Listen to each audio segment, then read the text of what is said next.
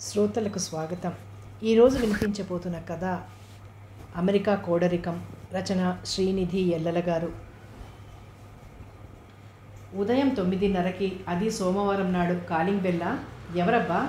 వారంలో ఐదు రోజులు ఆన్లైన్ డెలివరీ వాళ్ళకి తప్పించి నేను ఒక దాన్ని ఉన్నాననే విషయం ఎవరికీ పట్టదు కదా?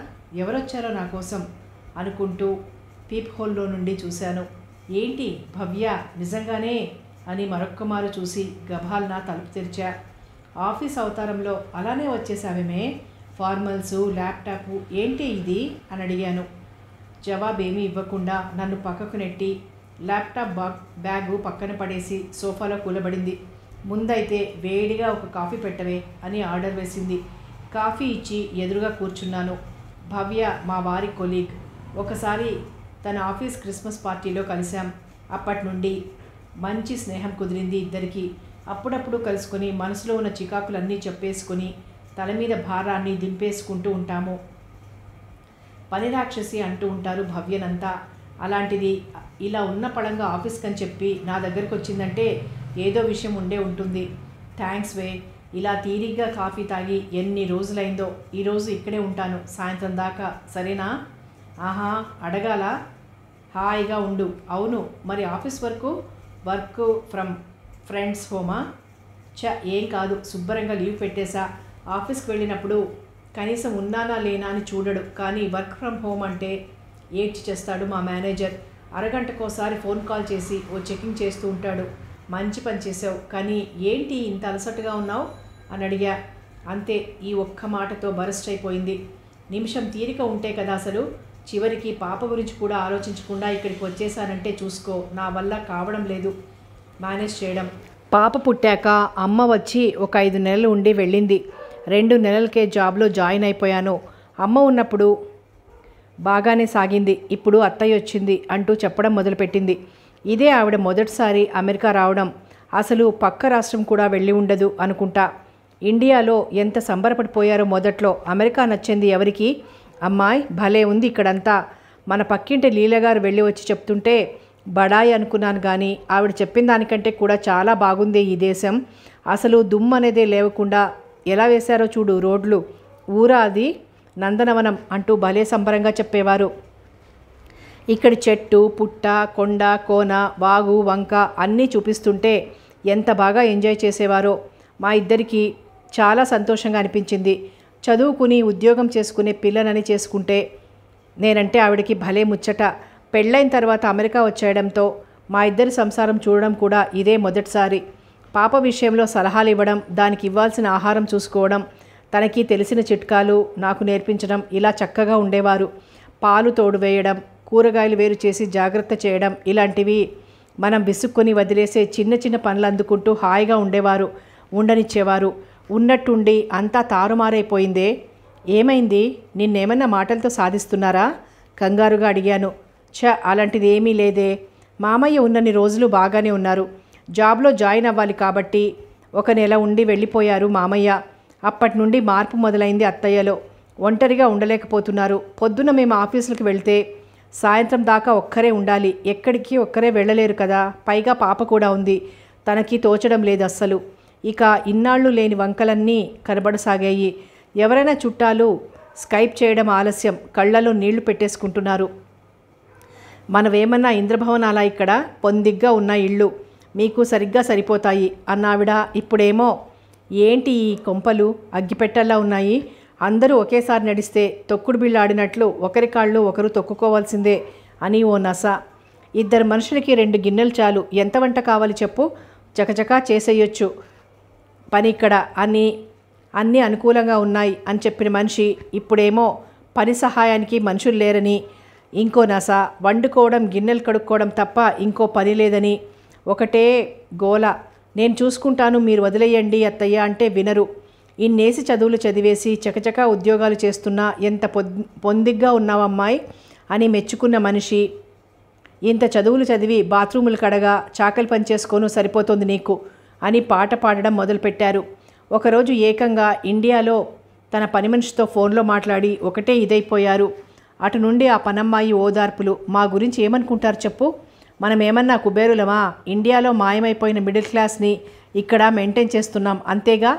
అసలు మామయ్యతో పాటు తిరిగి వెళ్తారా అంటే సంవత్సరం నిండకుండా పాపని డే కేర్లో ఎందుకు? వీల్లేదు అని తానే ఉంటాను అన్నారు. రిటర్న్ టికెట్స్ కూడా బుక్ అయిపోయాక ఇప్పుడు ఇలా బాధపడుతుంటే ఏం చేయాలో తోచడం లేదు. సరే మరి తిరిగి వెళ్ళిపోతారా? అని అడిగితే నేను మీకు బరువైపోయానా? అంటారు. ఈ మధ్య రోజు నేను ఇంటికి వచ్చి రాగానే వాకింగ్ అని చెప్పి వెళ్ళిపోతున్నారు.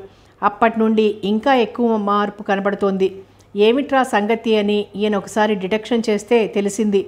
ఇలా అపార్ట్మెంట్లో ఉన్న ఆంటీలు అంకుల్స్ అందరూ పక్కన ఉన్న పార్క్లో చేరి పిల్లల గురించి ఒకటే కంప్లైంట్లు చేసుకుంటున్నారట. సముద్రాలు దాటించి మా దగ్గర చాకరీ చేయిస్తున్నారని ఒకరు బాధపడితే అప్పట్లో అత్తగార్లకి చాకరీ చేశాం. ఇప్పుడు కోడళ్ళకి చాకరీ చేస్తున్నాం అని వారి మీద వారే జాలి పడుతూ ఒకరినొకరు ఓదార్చుకుంటున్నారట. నాకేం చేయాలో పాలుపోవటం లేదే.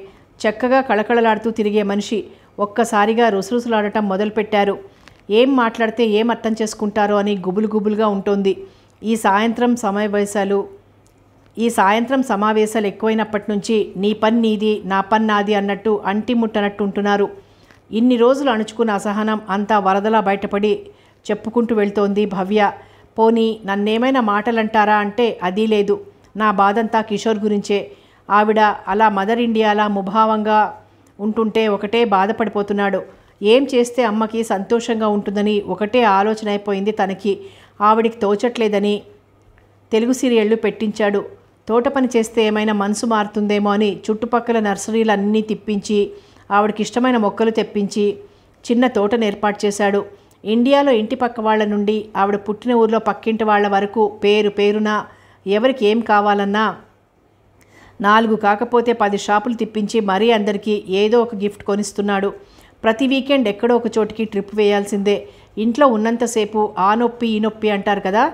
వీకెండ్ ట్రిప్స్లో మాత్రం ఎంత చురుగ్గా కాస్తంత కూడా అలవకుండా తిరిగేస్తారో తెలుసా? వెళ్ళిన ప్రతి చోటుని స్టేటస్లోకి ఎక్కిస్తూ ఇక్కడి లోకల్ వాళ్ళతో ఫోటోలు వాటిని వెంటనే వాట్సాప్లో ఫేస్బుక్లో ఫ్రెండ్స్కి షేర్ చేసేసి అబ్బో అసలు మామూలు హంగామా కాదులే మాకు కూడా అదే కావాల్సింది ఇన్ని చేసినా మళ్ళీ ఇంటికి రాగానే షరా మామూలే ఏదో మేము చెయ్యరని పాపం చేసినట్టు తనని జైల్లో పెట్టేసినట్టు. అత్తయ్య మొహంలో సంతోషం కనపడడం లేదన్న దిగులతో కిషోర్ కూడా ఆర్ట్ ఫిల్మ్ హీరోయిన్లా ఎటో చూస్తూ ఉంటున్నాడు ఈ మధ్య. వీళ్ళిద్దరి మధ్య నాకు పిచ్చెత్తిపోతోంది. ఒకవేళ అత్తయ్య లోపల సంతోషంగా ఉన్నా బయటపడటం లేదేమో అనిపిస్తోంది నాకు. ఒక్కోసారి కిషోర్ ఆవిడ కోసం అలా ఆరాటపడడం ఆ తపన అన్నీ కూడా ఆవిడ ఎంజాయ్ చేస్తున్నారేమో అనిపిస్తోంది. వాళ్ళిద్దరి మధ్యకి వెళ్ళి మళ్ళీ కొత్త సమస్య తేవడం ఎందుకని వదిలేశా? మా చేతనైనంత చేస్తున్నా అన్నింటికీ మా ఉద్యోగాలతో మా బిజీ లైఫ్తో పోల్చి తేలిగ్గా తీసిపడేస్తున్నారు. దేన్నని వదులుకోగలం? చెప్పు. కూర్చుని తినేటన్ని ఆస్తులు లేని వాళ్ళం కదా. కనబడుతున్న వాస్తవాలు పట్టించుకోరు కానీ తల్లిదండ్రుల్ని వదిలేసిన పిల్లల గతి ఏమవుతుందంటే ఈ వీడియో చూడండి అనే యూట్యూబ్ వీడియోలు వాట్సాప్ ఫార్వర్డ్ మెసేజ్లు పెట్టుకుని శ్రద్ధగా వింటుంటారు. ఈ సోషల్ మీడియా వల్ల పిల్లలు ఎంత పాడవుతున్నారో పెద్దవాళ్ళు అంతకన్నా చాదస్తంగా మూర్ఖంగా తయారవుతున్నారనిపిస్తోంది. ఉద్యోగాలతో పాపతో వీకెండ్ ట్రిప్పులతో క్షణం తీరిక లేకుండా ఉంటే అలసట రాక ఇంకేమొస్తుంది చెప్పు? ఈ ఆలోచనలతో మెంటల్ ఫెటిగ్ ఎక్కువైపోతోంది నాకు. ఇంట్లో వేడెక్కుతున్న వాతావరణం తట్టుకోలేక మనసులో ఆలోచనలు బయటపెట్టుకుంటే కానీ మళ్ళీ మామూలు మనిషిని కాలేనని లీవ్ పెట్టేసి మరీ ఇక్కడికి వచ్చానే ఇప్పుడు కాస్త ప్రశాంతంగా ఉంది అని చెప్పుకుంది భవ్య. ఆ రోజు సాయంత్రం భవ్య వెళ్ళిపోగానే ఆంటీ గురించి ఆలోచించాను. ఆవిడ్ని కదిలిస్తే ఆమె వైపు వాదన కూడా ఇంతే బలంగా చెప్పగలరు. ఇక్కడి ఏకాంతం అనుభవమే కదా నాకు. ప్రస్తుతం ఆవిడకి కావాల్సింది మంచి కంపెనీ అంతే. వయసు పెరిగినా ఆలోచన పరిధి పెరగని స్నేహాలు ఇలాంటి నెగిటివ్ థాట్స్నే పెంచుతుంటాయి. ఆవిడకంటూ గుర్తింపునిచ్చి సంతోషపరిచే చిన్న వ్యాపకం ఒకటి ఉంటే పరిస్థితి వేరేలా ఉంటు ఉంటుందేమో కదా అనిపించింది.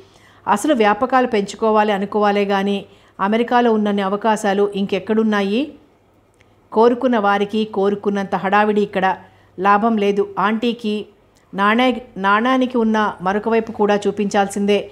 అసలు ఏమనుకుంటున్నారా ఆంటీ? అమెరికాలో మన వాళ్ళు నేర్వగలేని విద్య లేదు రాణించగలేని కళ లేదు. దారులు వెతుక్కోవాలి అంతే.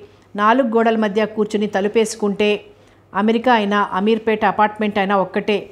అనుకున్నది ఆలస్యం. నాకు తీరిక ఓపిక లేక మ్యూట్లో పెట్టి వదిలేసిన వాట్సాప్ గ్రూపు లిస్టు వెతకడం మొదలుపెట్టా. మొత్తానికి ఉన్న గ్రూపులన్నీ వెతికి సహస్రనామ పారాయణం బ్యాచ్ ఒకటి టెంపుల్ వాలంటీరింగ్ బ్యాచ్ ఒకటి పట్టుకున్నాను. అందులో మా ఫ్రెండ్కి ఫ్రెండ్కి ఫ్రెండ్ ఒకరిని పట్టుకొని ఆంటీ పేరు ఎంటర్ చేయించా. ఒక శుభముహూర్తాన భవ్య వాళ్ళ ఇంటికి వెళ్ళి గుళ్ళో మాకు తెలిసిన వారి సత్యనారాయణ వ్రతానికి కాస్త పెద్ద దిక్కుగా ఉందిరు కానీ రండాంటీ అని ఒక శనివారం నా కూడా తీసుకుని వెళ్ళాను. ఎంత పొంగిపోయారో ఆవిడ. పెద్దవాళ్ళంత అల్ప సంతోషులు మరెవ్వరూ ఉండరు కదా. వ్రతం అయిపోయాక మా టెంపుల్ వాలంటీర్ గారి దగ్గర కాసేపు కూర్చోబెట్టి ఇప్పుడే వస్తానని చెప్పి పారిపోయా. ఒక అరగంట తర్వాత వచ్చి ఆంటీ ఇంకా బయలుదేరదామా? అంటే వస్తూ వస్తూ అమ్మాయి నేను ఎంత వద్దన్నా వినకుండా లడ్డు కౌంటర్ దగ్గర శనివారాలు సాయంత్రం డ్యూటీ వేసింది ఆ పిల్ల. వాలంటీర్లకి అభిషేకం స్పెషల్ దర్శనాలు ఉంటాయి అంటే ఇంకో నాలుగు నెలలే కదా అని కాదనలేకపోయా అని వెలిగిపోతున్న మొహంతో చెప్తున్న ఆవిడని చూస్తే ముచ్చటేసింది. అలాగే సహస్రనామ పారాయణం బ్యాచ్లో కూడా జాయిన్ అయిపోయారు.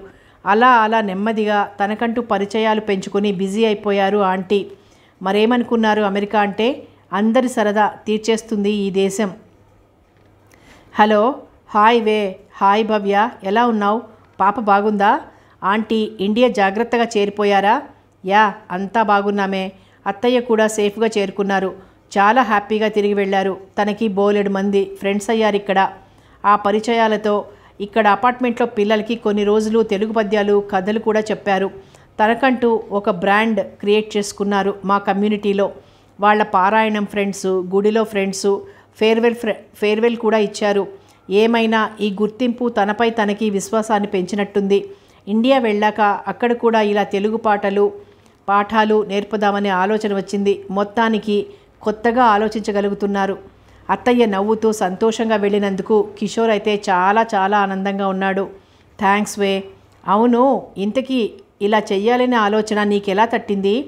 హలో నేను కూడా ఆరు నెలల అమెరికా కోడరికం చేశానమ్మా.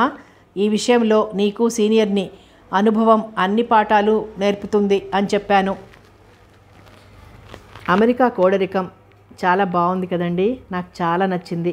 మీ అందరికీ నచ్చుతుందని ఆశిస్తూ సెలవు తీసుకుంటున్నాను.